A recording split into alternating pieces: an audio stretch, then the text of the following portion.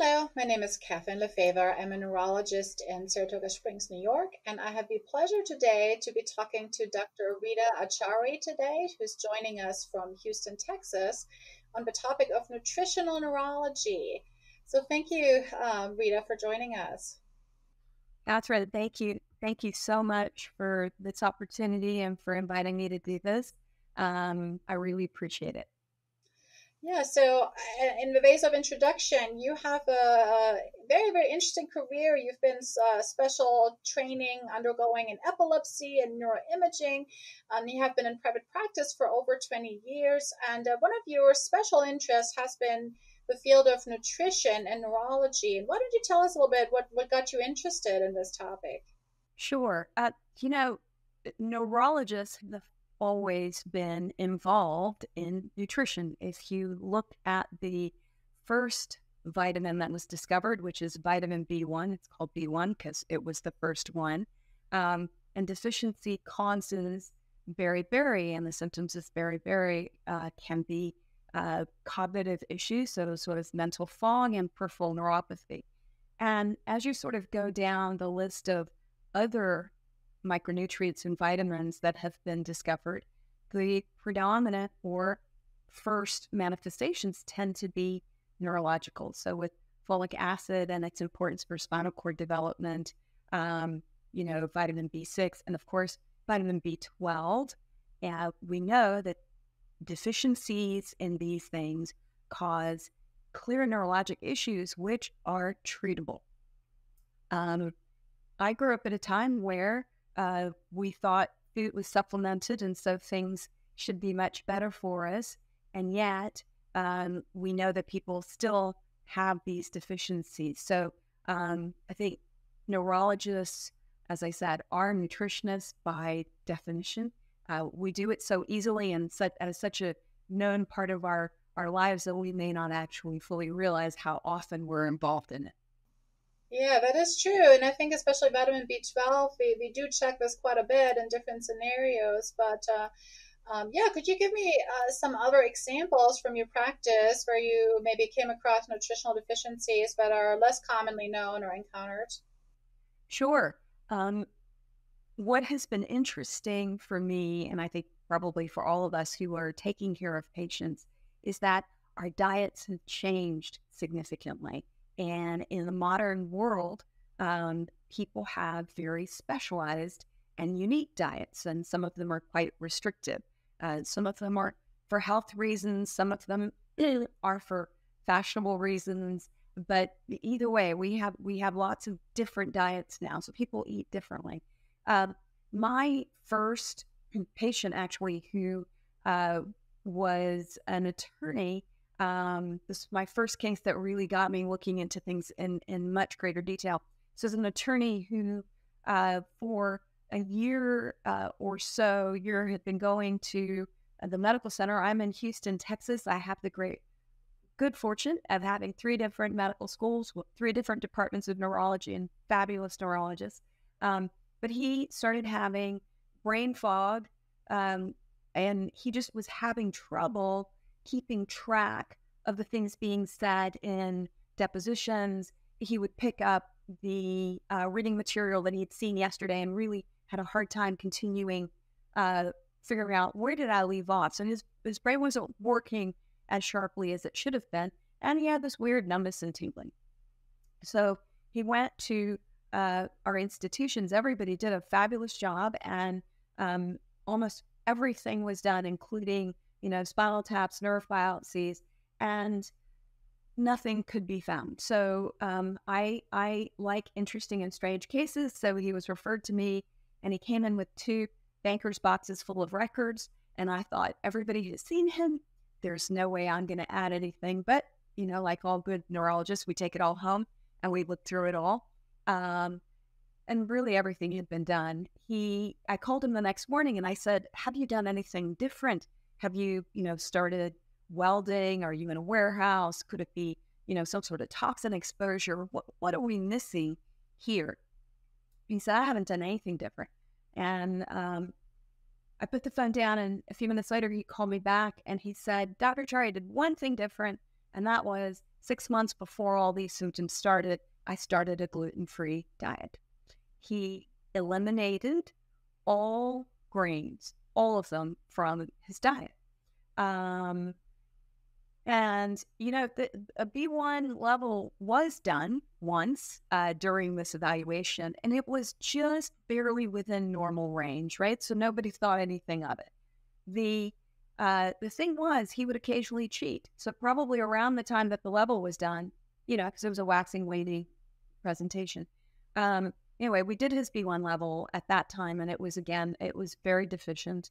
Um, so I gave him uh, B1 injections, B1 orally, found a good source of, of wheat flour in Utah for him, and taught him how to bake bread and put grains, good whole grains, um, back into his diet um, in appropriate quantities and uh, you know made sure he wasn't eating what most of us get in the grocery store which is added gluten to everything which was making him feel sick. There was a reason he went to this. Once we got him uh, on good whole grains without dough conditioners and added gluten he was he did very very well. He recovered fully went back to practice. For a year he sent me a loaf of bread uh, once a month. I haven't received that in a while, so I'm sure he's doing well. He doesn't have to think about his neurologist anymore. So that that's my B1 deficiency story. And then, you know, um, 50% of the American public is actually vitamin C deficient, right? That data comes from NHANES, which is the nutritional assessment survey done by the CDC. And those are those measurements are actually serum and uh, good blood level measurements. Um, my next case, so I tell you about vitamin C. I saw a young woman who had um, epilepsy, and uh, she 22 year old, and uh, she was convinced that she was getting rash and abdominal pain from her anti-seizure medicine. She was uh, had been taking the same this whole time. Um, anyway, she came to see me, and we went through everything. The generic formulation had not changed. Nothing about anything had changed. And yet she's having this abdominal pain and rash. She also had some joint pain. She had some gum bleeding. There were other things that sort of pointed to, you know, scurvy. Um, I didn't know at that time. So this was, you know, about this was about 20 years ago. I didn't know at that time that you could order a vitamin C level uh, so I had to call the lab and say, how do I do this? And they ordered the lab, you know, the order. she went and got her blood work done. Her level came back and it was zero. And I thought, clearly I have done something wrong, right? Something has gone wrong here. When I called the lab, the other, the phlebotomist there uh, actually checked their own after the vitamin C level came back as zero. They were low, but they weren't zero. So they said, this is a legitimate saying, and we did repeat her uh, level, and it really was zero. So when I asked her, "Hey, what, what's going on?" Well, she'd graduated from college. She was working as, as a waitress in a, a bar restaurant, and uh, she was living by herself, and she was only eating canned soup. So you'd work all night, sleep, get up in the morning, and have canned soup. And canned soup doesn't have any vitamin C, despite having little you know, beans and potatoes and carrots pictured on the label. Um, so that is my vitamin C story. And again, we just gave her vitamin C. And she went back to actually she went back to school and and got her degree in nutrition. So um, she's doing she's doing very well. That's wonderful. But thanks for these very uh, illustrative stories. And I think, uh, as you said, we, we, we, we always feel that nutritional deficiencies are, are not something we, we should should commonly see in our society, but but we actually do, and, and for many many reasons, people might have to restrict their diets. So after having so much experience with this, do you have a specific panel of vitamins or micronutrients that you usually check, or can you give us any advice in that regard? Sure. So, you know, it is a it is an ever evolving list of things that I check and I also when we check levels, the question that we have to ask ourselves is what does that serum level actually say about the intracellular uh, level, right? So, and there is more and more work being done uh, in the biochemistry literature and the International Journal of Chemistry. It's helping us understand this. So, uh, we're, we're getting more data. For instance, the brain uses 100 times more vitamin C than any other tissue in the body, which is, again, new data for me uh, starting this year.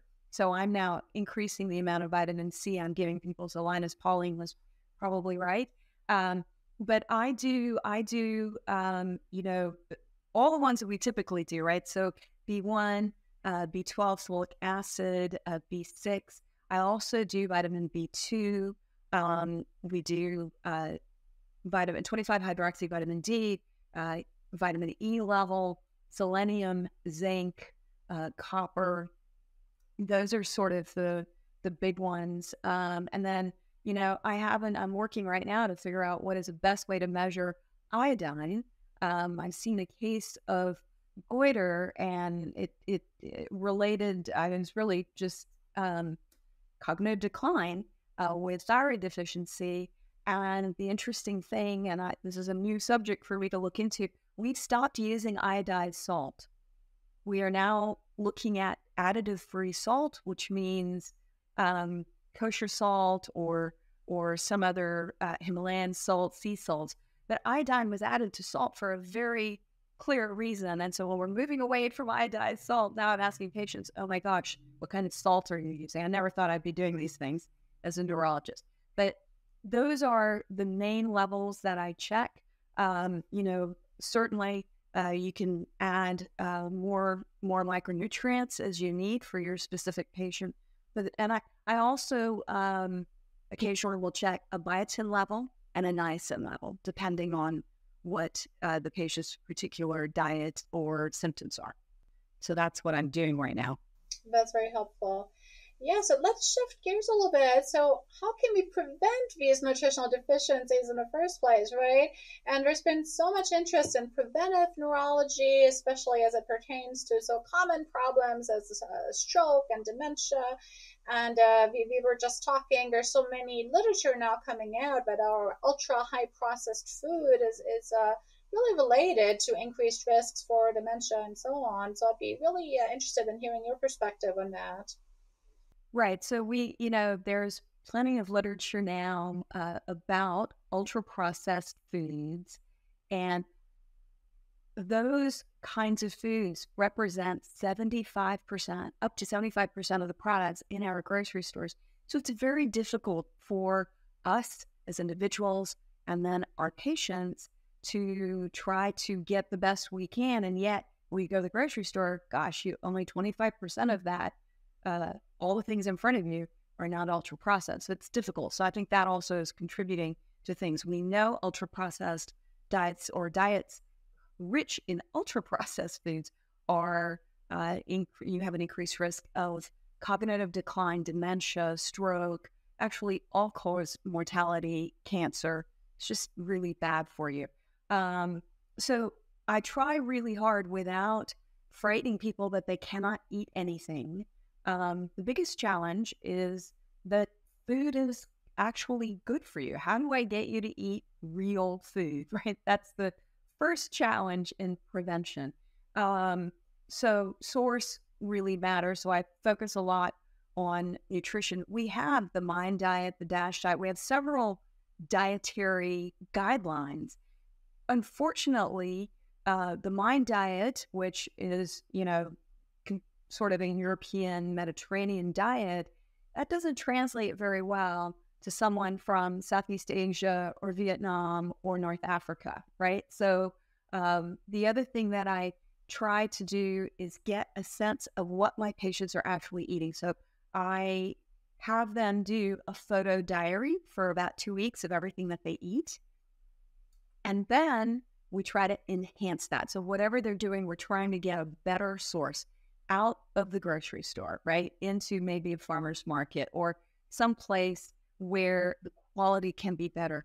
And, you know, this, we have to keep in mind also uh, access to good foods. Not everybody can uh, find good foods where they are. Um, so it, it is difficult, but you can always add a little bit, right? Whether it's whole grains, good dairy, um, we can do these things.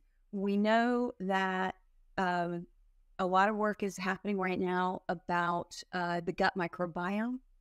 And so, good fermented foods, little bits eaten every day. And I like a variety of things. I have my, for my patients, I have my fermented five, um, which is, uh, you know, fermented grain. And that, you know, lots of cultures have fermented grain.